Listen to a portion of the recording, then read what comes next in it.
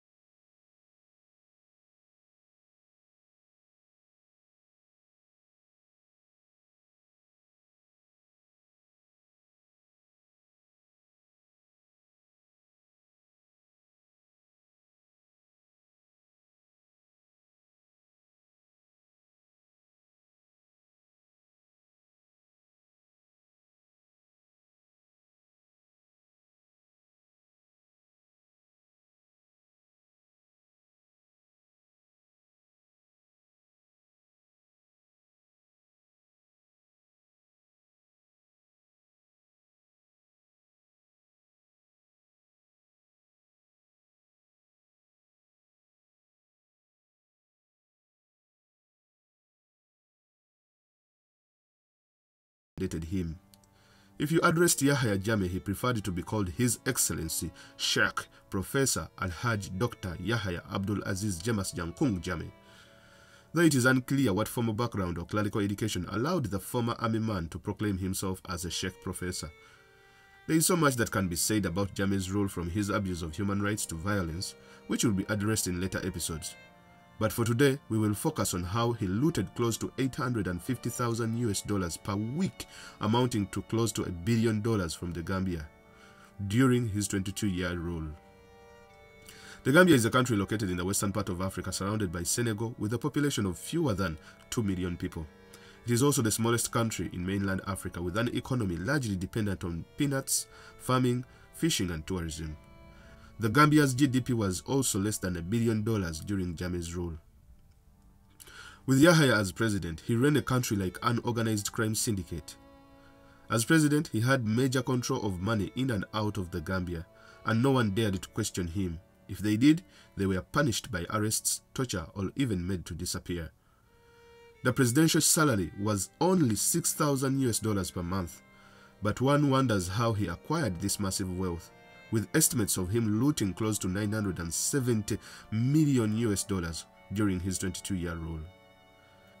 The major casualty of his looting spree was the Central Bank of Gambia, which he treated as his personal slush fund. Jammeh's cronies were known to shove suitcases filled with major currencies, including pounds, euros, and dollars, into waiting vehicles to be flown and taken to his personal accounts, both domestic and overseas. Over a few years, he diverted 71 million US dollars from the central bank's reserves.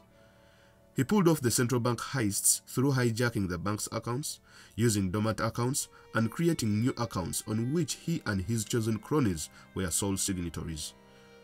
Jammeh couldn't stop stealing from the central bank that many of his accounts went into overdraft by withdrawing cash from these accounts despite knowing that they had no funds left in them. During this period, the Central Bank of Gambia was highly indebted, and in 2015 they wrote a letter to the IMF claiming that it was due to overlending to the government and violation of its own rules. To this day, the bank remains in a terrible position owing lenders 130% of its GDP as a result of external areas incurred by the Yahya administration. Rosewood is an endangered and rare timber widely used for antique-style furniture, especially in Asia and in particular China. This rare valuable wood is cherished for its color and durability and is not found in the forests of Gambia.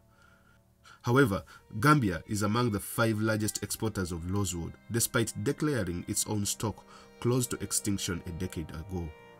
But during Yahya's rule, the Gambia exported hundreds of millions of dollars worth of rosewood. Yahya found rosewood in Casamance region in neighboring Senegal, a region that is home to the Jola ethnic group to which Yahya belongs. So this gave him strong ties to the region, enabling him to defraud this area. With the acquisition of this region, he formed a partnership with two Romanians, creating a monopoly on illegal timber exports, allowing them major control of illegal rosewood trade.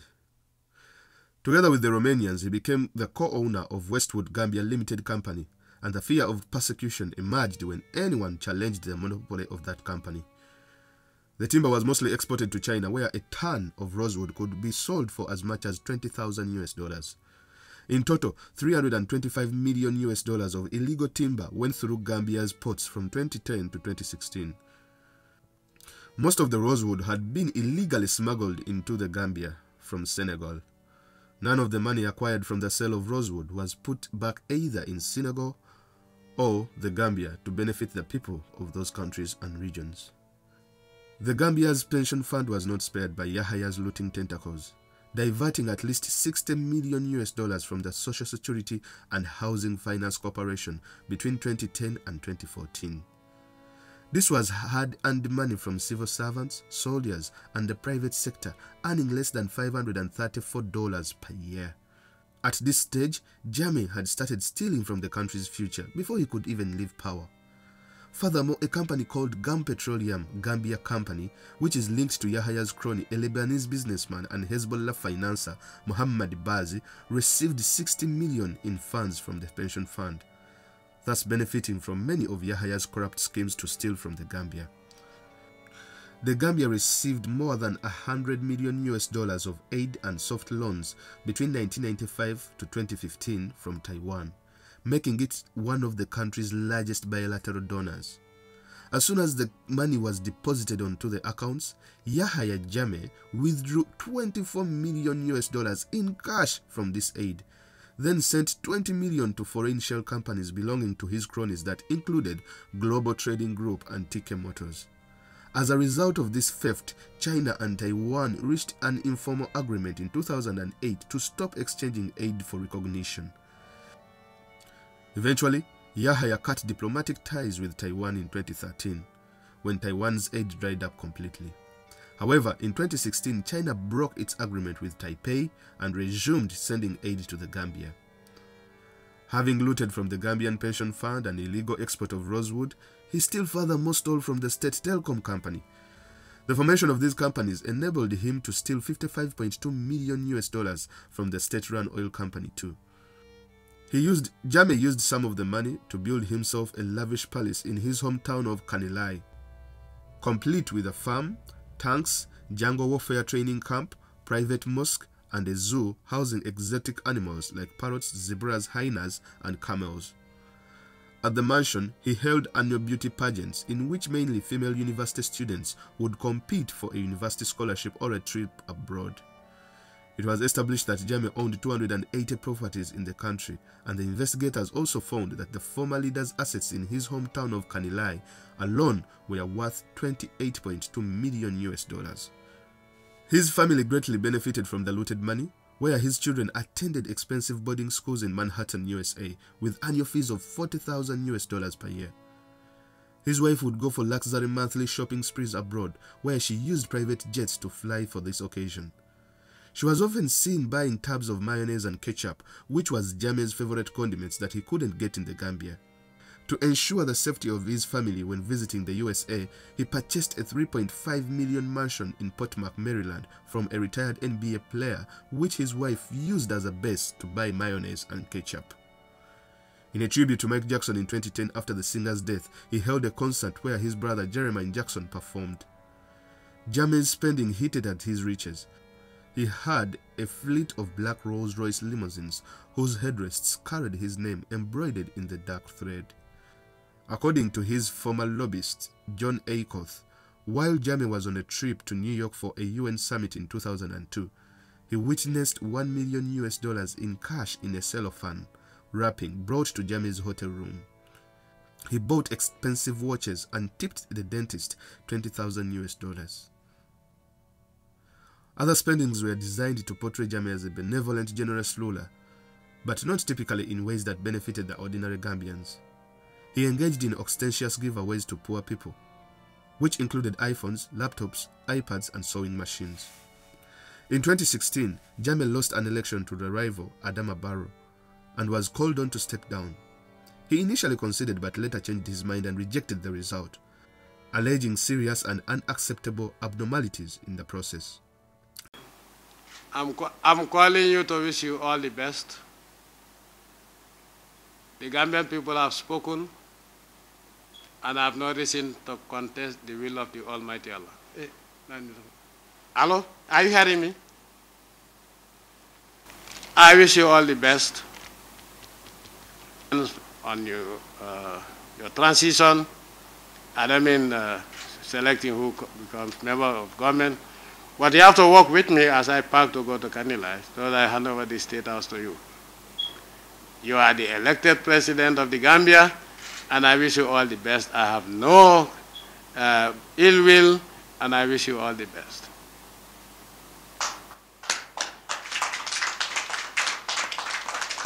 After a month-long standoff and under pressure from the West African heads of state, Jammeh eventually conceded and left the country to another kleptocratic nation, Equatorial Guinea.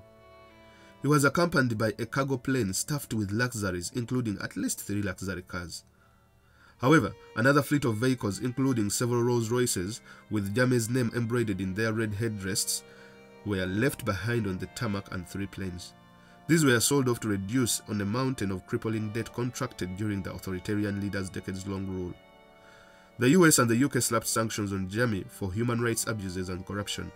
His wife Zainab faced the same sanctions for supporting Jammeh's corruption. She was believed to control many of the overseas assets of her husband and utilized a charitable foundation and charities as a cover to facilitate the illicit transfer of funds to her husband.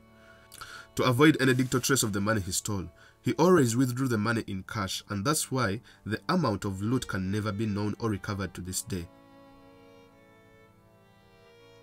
But the Organized Crime and Corruption Reporting Project put the estimates of 970 million US dollars, meaning that he stole 850,000 US dollars per week from the Gambian people. Transparency International faulted the US and the UK banks for helping the corrupt and oppressive regime. The banks facilitated Jammeh's theft of public monies in and out of the Gambia, while he violently oppressed his people and destroyed the country's economy.